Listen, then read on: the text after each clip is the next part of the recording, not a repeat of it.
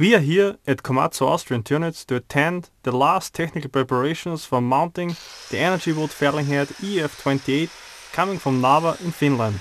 The innovative Energy Wood felling head Naarva EF28 was originally designed for early thinning operations in Northern Europe. Rakennamme tämän Naarva F28 tuohon valmettiin sopivaksi ja kun se on hyvin tehty ja toimii, niin sitten kuljettajalle kontrollit ja ohjaus säilyy ihan samanlaisena kuin se on ollut edelliselläkin harvesteripäällä. Our task, together with our entrepreneur Holt Schwarz GmbH, Komatsu Austria and the Forest Enterprise Esterhazy, is to test and show this specially developed energy wood felling head Naarva EF28 to a broad public audience interested in forest engineering. The head should be tested in early thinning operations in hardwood dominated stands. It is one of the first harvesting operations in Austria with such a felling head. The demonstration is done within the European project INFRES, which is looking for new innovative solutions to forest biomass supply.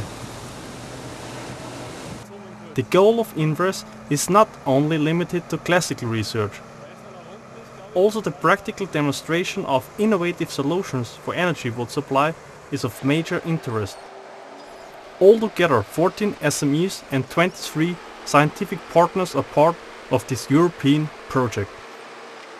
Esterhazy Forest Enterprise owns about 5,700 hectares in Lockenhaus and manages also additional external areas. Altogether, Esterhazy is responsible for 7,000 hectares of nature-orientated managed forest with an annual cut of 50,000 to 58,000 cubic meters. Our most challenging task is to effectively manage beech-dominated stands. We are still looking for innovative machinery which is able to operate in early thinning operations cost effective and careful. The felling head is mounted on a Valmet 911.1 provided by Komatsu Austria. A major advantage of this head is the cutting blade instead of a crosscut saw as it is used in standard harvester heads. It allows easier cutting of low diameter stems. Alternating fingers at the top of the head allow easy multi-tree handling which is extremely useful in small diameter stands. A length measurement system controlled by the feed rollers is an additional benefit of this head. Assortments cut to standard lengths are easier to handle for the forwarder afterwards. It also offers the possibility to produce high quality logs.